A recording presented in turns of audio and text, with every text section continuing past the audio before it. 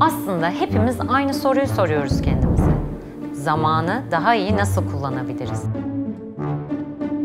Hadi başlayalım o zaman.